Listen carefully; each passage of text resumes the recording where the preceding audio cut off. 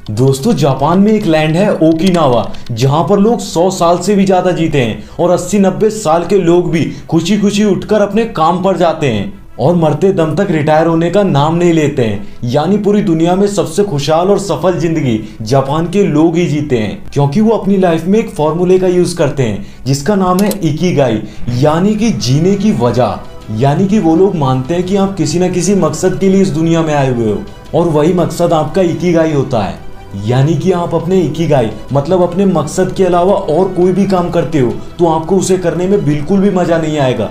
और आप हमेशा स्ट्रेस में रहोगे, और आपका दिमाग हमेशा उस मकसद की तलाश में लगा रहेगा।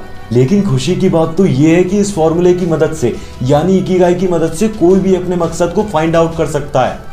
दोस्तों, जब आप लोग अपनी स्टडी को कंप्लीट करके कमाने के लिए जाते हो तो कोई आपसे कहता है कि वो काम कर ले, जो करना तुझे पसंद है। तो कोई आपसे कहता है कि वो काम कर ले, जिसमें तू अच्छा है। तो कोई कहता है कि वो काम कर, जिसमें तुझे बहुत ज़्यादा पैसा मिले। तो कोई ये कहता है कि वो काम कर, जो दुनिया के लिए अच्छा हो। लेकिन वो इन चारों में से एक काम करने के लिए कहते हैं, जो कि सबसे रॉन्ग एडवाइस है। तो इकिगाई इन सबका कॉम्बिनेशन है। आपको पता भी नहीं है इनमें से एक भी पार्ट मिस होने से कितनी बड़ी प्रॉब्लम क्रिएट हो सकती है। इसे हम एक डायग्राम की मदद से समझेंगे। तो सबसे पहला सर्कल है वट यू लव जिसमें वो चीज़ आती है जो करना आपको पसंद है। और सेकंड सर्कल है what are you good at जिन कामों को करने में आप अच्छे हो। और थर्ड सर्कल में आता है what you can be paid for जिन कामों को करने से आपको पैसे मिलते हैं। और इन लास्ट फोर्थ सर्कल में आता है वट द वर्ल्ड नीड्स दुनिया को किन कामों की ज़रूरत है। तो फ़र्स्ट और सेकंड सर्कल को मिलाकर आपको अपना पैशन मिलेगा। यानी कि जिस काम को करने में आप अच्छे हो और आपको वो पसंद भी है तो वो आपका पैशन होगा। एग्ज़ाम्पल नई चीज़ें करना आपको पसंद है और नई चीज़ सीखकर आप प्रोग्रामिंग करते हो तो वो आपका पैशन हुआ। नेक्स्ट सेकंड और थर्ड सर्कल के इंट्रैक्शन से आपको आपका प्रोफेशन मिलेगा। यानी कि जिन कामों को करने में आप अच्छे हो और उन कामों को करने से आपको पैसा भी मिलेगा। एग्ज़ाम्पल जैसे कुछ नया सीखकर आपने एक ऐप बनाई है तो उस ऐप को बनाने के लिए आपको पैसा मिलेगा तो वो आपका प्रोफेशन हुआ। थर्ड और फोर्थ सर्कल के कॉम्बिनेशन से आपको आपका वोकेशन मिलेगा।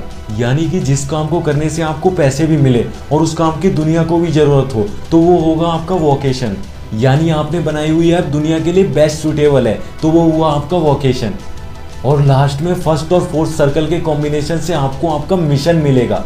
यानी कि जो काम करना आपको पसंद है और वो दुनिया की भी नीड है तो वो काम है आपका मिशन एग्ज़ाम्पल जिस काम की दुनिया को नीड थी और वो काम करना आपको पसंद था तो आपकी पसंद और दुनिया की नीड मिलकर बनेगा आपका मिशन लेकिन प्रॉब्लम जब आती है जब लोग आपको सिर्फ़ अपना पैशन फाइंड करने के लिए बोलते हैं. जबकि पैशन तो सिर्फ़ इकिगाई का एक पार्ट है, लेकिन आपके लिए और भी तीन कंपोनेंट फाइंड आउट करना बहुत ज़रूरी है। चलो, मैं आपको इसे एक एग्जांपल से समझाता हूँ। जैसे अगर आपको कुकिंग करना पसंद है और आप कुकिंग में बहुत अच्छे हो, और दुनिया को भी आपका खाना बहुत पसंद है मतलब दुनिया को आपकी कुकिंग की ज़रूरत है, और दुनिया आपको इस काम के लिए पैसे भी देती है मतलब आपकी कुकिंग चारों कॉम्पोनेंट्स को सेटिस्फाई करती है मतलब कुकिंग आपका एक ही गाय है। आपका ये एम होना चाहिए कि एक ऐसे वर्क को फाइंड आउट करना, जो कि पैशन प्रोफेशन वोकेशन और मिशन चारों कंपोनेंट्स को सेटिस्फाई करे। और इन चारों कंपोनेंट्स के बीच में ही आपको आपका ही मिलेगा। यानी कि वो काम मिलेगा जिस काम को करने में आप अच्छे हो, जो काम करना आपको पसंद है, जिस काम को करने से आपको पैसे मिलेंगे। जब ये चारों कंपोनेंट सेटिस्फाई होंगे, तभी आप एक लंबी स्ट्रेस फ्री और सफल ज़िंदगी जी पाएँगे। अपने इकिगाई को फाइंड करके और उस पर वर्क करके आप इरिप्लेसेबल लेवल अचीव कर सकते हो। इवन टेक्नोलॉजी भी आपको रिप्लेस नहीं कर सकती।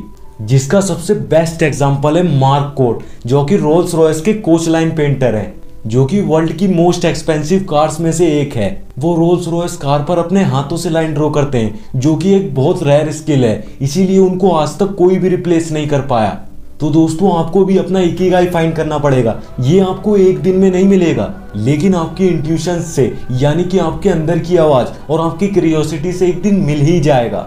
जिस दिन आपको अपना इकिगाई मिलेगा, आपको खुद ही पता चल जाएगा कि हाँ मुझे ये काम करना पसंद है। इस काम में मुझे पैसे भी मिलते हैं और इस काम में मैं अच्छा भी हूँ और इस काम की दुनिया को भी ज़रूरत है। मतलब चारों कॉम्पोनेंट्स इससे सेटिस्फाई होते हैं।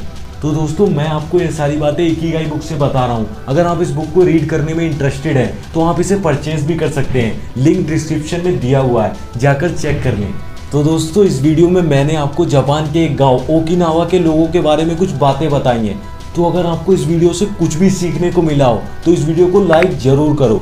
और ऐसी अमेजिंग बुक समरीज को देखने के लिए हमारे चैनल को सब्सक्राइब करो। और इस वीडियो को ज़्यादा से ज़्यादा अपने फ्रेंड्स के साथ शेयर करो। सो so गाइज़ मैं मिलता हूँ आपसे नई वीडियो में न्यू टॉपिक के साथ। तब तक के लिए वीडियो देखते रहो और सीखते रहो। Thanks for watching